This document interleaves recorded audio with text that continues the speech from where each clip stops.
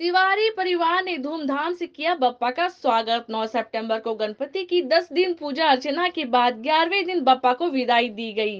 गणेश विसर्जन के दिन गणेश भक्तों के लिए तिवारी परिवार ने विशेष व्यवस्था का आयोजन किया। मुंबई के मलाड वेस्ट स्थित में चौकी पर तिवारी परिवार का स्टेज बनाया गया। जहाँ से मारवे और रक्षा बीच पर बड़े गणपति बप्पा को विसर्जन के लिए जाते व वहाँ मंच से तिवारी परिवार और पाल परिवार ने फूलों की वर्षा कर बप्पा का स्वागत करते रहे।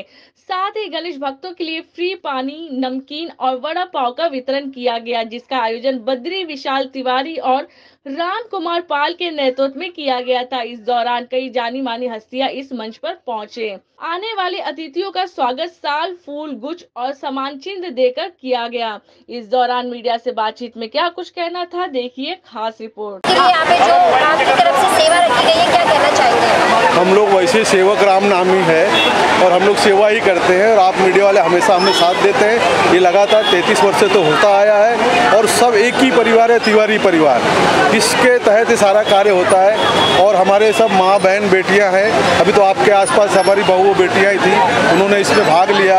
उनको इसके लिए आत्मविश्वास देते कि आगे ये सरकार वही चलाएँगे। तो किस तरह से इतनी व्यवस्था कर पाते क्योंकि एक लंबी लाइन लगी है जिस तरह से भक्तों की, सभी को वड़ा पाव देना और इस मंच पे भी काफ़ी बड़े बड़े लोग यहाँ पर पहुँच रहे हैं उनका स्वागत करना हम प्रयास करते हैं बाकी सब माता रानी करती है। हम बड़े से बड़े काम चुटकी में कर लेते हैं परिवार की एकता और अखंडता है। ऐसे ही हिंदू सनातन धर्म एक हो जाए तो सारे कार्य अपने आप हो जाएँगे। आप जो कार्य करते हैं वो कार्य बहुत ही बड़े लेवल पे लोगों की सेवा का है। तो पप्पा जा रहे हैं तो क्या कुछ कहना चाहेंगे? पप्पा के जाने का कितना दुख है और पप्पा से क्या कुछ आप प्रार्थना करते हैं? बप्पा से यही कहेंगे सोए हुए हिंदुओं को जगा दो। बस यही अपील है। जो पिछली सरकारों ने वक्फ बोर्ड हलाल और मंदिरों को एक लाख करोड़ रुपया देकर एक एक धर्म को मज़बूत किया है और हमारे धर्मों के पैसे लिए जाते इसकी जानकारी लोगों को नहीं है और हमारा प्रयास रहेगा कि हर आदमी को ये जानकारी हो। अगर सरकार हमारे मंदिरों का पैसा लेना नहीं बंद कर दिए तो हम जनता से अपील करेंगे, एक लड्डू चढ़ाओ। लो सरकार, लड्डू खाओ। अब ये सब आप लोगों का प्रेम है। और सभी का भक्तों का प्यार है जो इतनी बारिश में भी लोग अभी विसर्जन के लिए उमड़ पड़े हैं।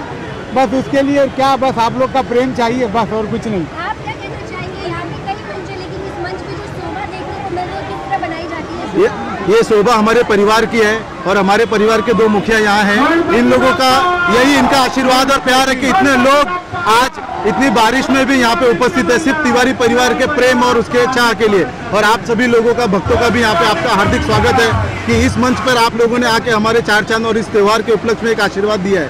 इसके लिए तिवारी परिवार आपका और यहाँ पे सभी उपस्थित भक्तजनों का ऋणी रहेगा हमेशा के लिए।